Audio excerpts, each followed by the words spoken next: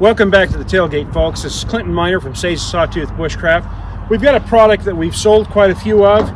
People seem to really like, and I, uh, I think I did an older video on it, but I, I wanted to get an updated video that people could go to that have looked at this, that have purchased it, they know what it is, and they know how to use it. So we're going to look at the Fat Boy Fatwood Ferrocerium Rod.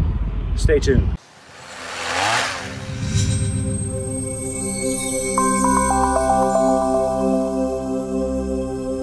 So we got a little bit of a breezy day going on here in southwestern Idaho. It's uh, the middle of January. We it's a beautiful day. It looks like it's going to be in the 40s, so that's really nice. But there's a little bit of a breeze blowing. Will have some effect on probably the sound quality of this, but also makes it a little harder to start a fire with with fat wood. But I think we can get it done. I'm going to create a little bit of a a wind block here, but this fat wood fat, fat boy fat wood ferrocerium rod is is the first product I put together and tried to share with people.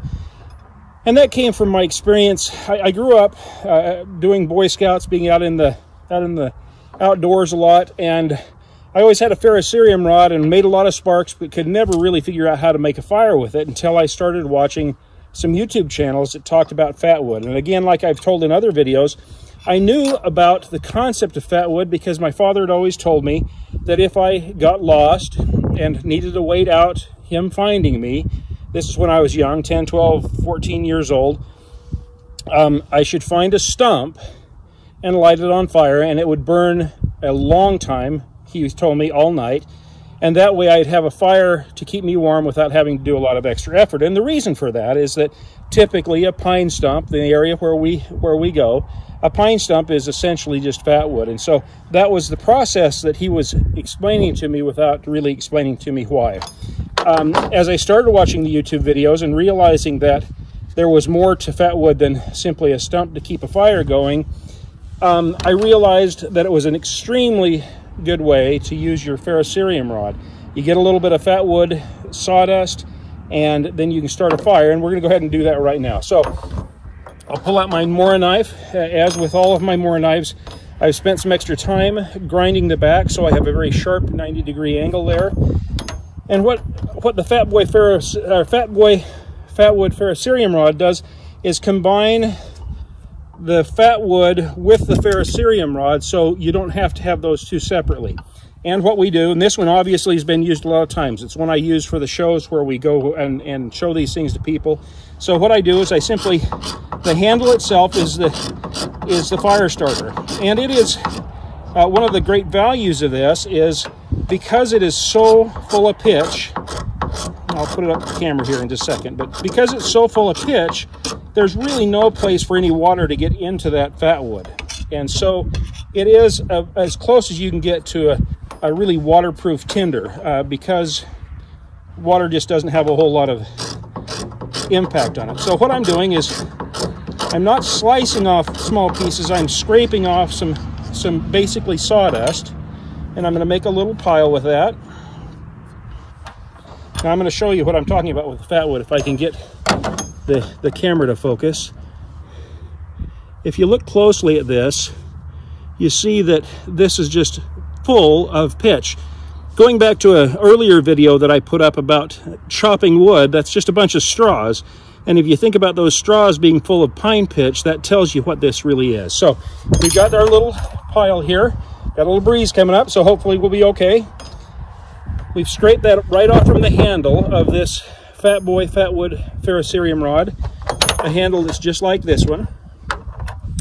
And what we'll do is simply place that ferrocerium rod right there. Again, I'm using the back of my knife to avoid using up the valuable resource of my sharp end. And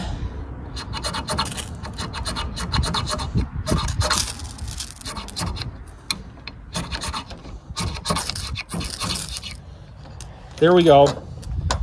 Just took a little spark to get it right there in it.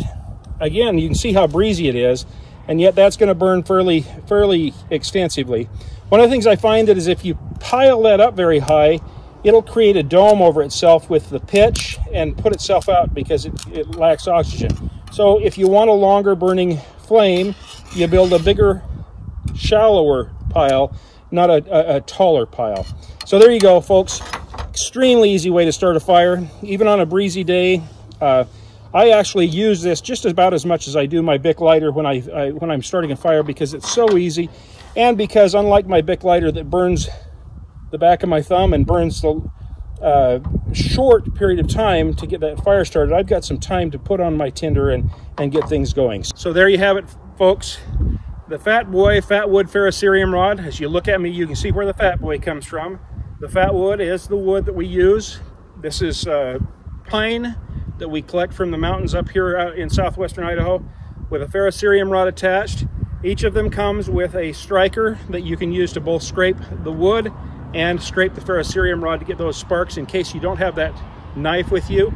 A wonderful little product that you can carry with you in a day pack and know that you've literally got hundreds of fires. I've probably started with that ferrocerium rod and that that fat wood at least 200 if not 250 fires so far and it's still got a lot of fires left in it so remember if you're prepared you're never really lost if you've got a fire you've got light warmth and comfort and to some extent protection so if you need these if you need any of the products that we sell here at Sage Sawtooth Bushcraft go to my webpage www sage to sawtooth bushcraft, all one word, com.